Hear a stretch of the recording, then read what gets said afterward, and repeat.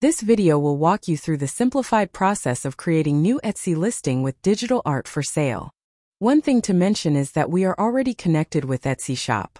Here we will select wall art images already processed with another app available on the website, but you may also select images from your device. Now the app will generate title and tags based on the content of the images. Here you can edit title and tag suggestions or modify settings related to description, price or preview images. From this moment your listing is being created, files and mock-up pictures are being uploaded to Etsy which is most time-consuming, and depends on size and number of images selected for sale.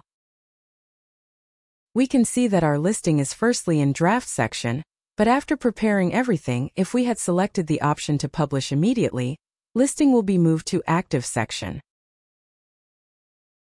Let's check how the listing looks like for Etsy customers.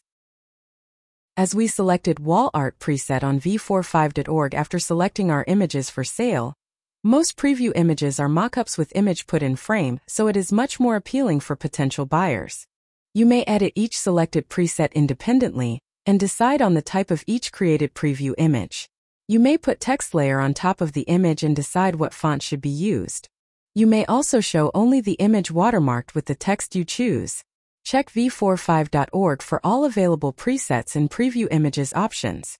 Once you connect your Etsy shop, you will be granted with free credits that you may use to create digital art listings or use another apps available at v45.org. Thank you for watching.